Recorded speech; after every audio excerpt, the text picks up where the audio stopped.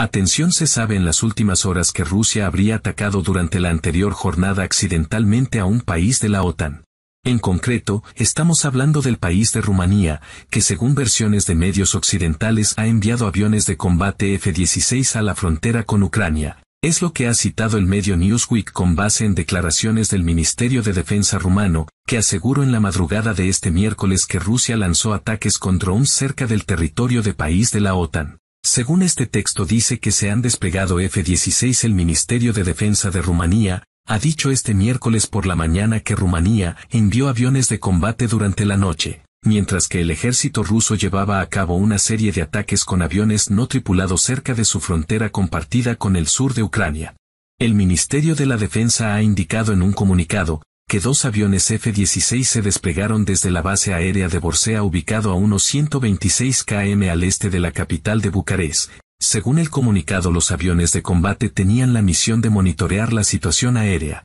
Casi al mismo tiempo el condado de Tulsea en Rumanía que limita con la región de Odessa en el sur de Ucrania, fue puesto en alerta porque se decía que las fuerzas rusas habían estado llevando a cabo ataques con drones contra ciertos objetivos cerca de la frontera de este miembro de la OTAN. Las autoridades de Ucrania no especificaron dónde habían tenido lugar esos ataques, según los informes uno de los drones lanzado en la ciudad portuaria ucraniana de Ismail, no alcanzó su objetivo y voló hacia Rumanía, explotando cerca de Pluro. Tras la explosión se pudieron ver llamas y humo que se elevaban a cientos de metros de altura, Rumanía envió aviones F-16 en respuesta a la incursión en su espacio aéreo. La nota dice que actualmente están investigando el incidente, el Ministerio de Defensa Nacional de Rumanía dice que ha dispuesto medidas para realizar investigaciones en el terreno de las inmediaciones de Pluru, para buscar posibles objetos que hayan caído en el territorio nacional, de ser así y se constate de que un dron hubiera atacado al país de Rumanía, se estaría esperando una respuesta sobre cuál será la acción que tomara el bloque militar contra Rusia.